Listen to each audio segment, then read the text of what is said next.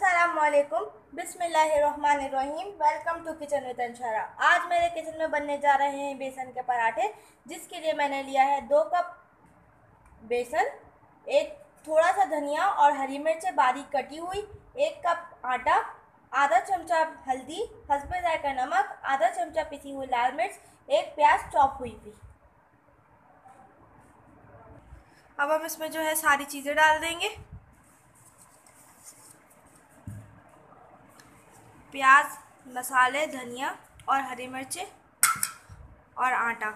और हम इसको आटे की तरह गूंद लेंगे, लेकिन थोड़ा नरम गूंदेंगे इसको।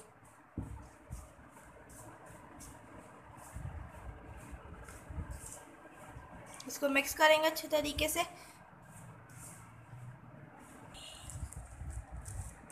ये देखें, आटा जो है थोड़ा चिपचिपा हो रहा है तो इसमें हमने थोड़ा सा घी डाला है और इसको गूंद देंगे अच्छे तरीके से। ये देखें हमारा आटा जो है, बेसन का वो गूंद चुका है। और आप ये देख सकते हैं कितना सॉफ्ट बना है ये। ये देखें आप, ये कितना सॉफ्ट बना है। अब हम जो है इसके पराठे बनाते हैं। अब हम जो है इसके पेड़े बना रहे हैं।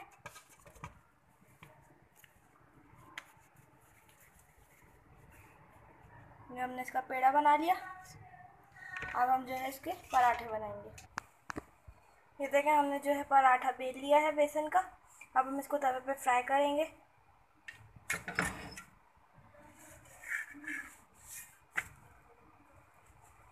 हम इस पर जो है थोड़ा सा घी डालेंगे।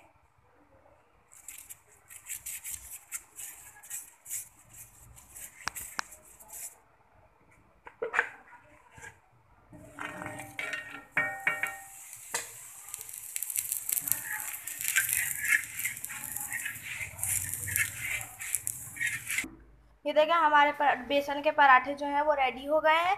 अब हम जो है इसके साथ सर्व होने वाली चटनी बनाना सिखाते हैं आपको। शुरू कर रहे हैं चटनी बनाना जिसके लिए मैंने लिया है नमक दो लहसुन और 10 से 12 साबुत लाल मिर्च। अब हम डाल रहे हैं जल में ला, लाल मिर्चें साबुत लाल मिर्चें लहसुन और नमक और थोड़ा सा पानी। अब जो है हम इसको ब्लेंड कर लेंगे। ये देखें हम चटनी जो है रेडी है। अब हम इसकी तेज, मिर्चों की तेज़ी को कम करने के लिए इसमें से थोड़ा तेल डालेंगे। ये हम इसमें ऑयल डाल रहे हैं थोड़ा सा इसको मिक्स कर देंगे इसमें। ये देखें बेसन के पराठे और चटनी रेडी है।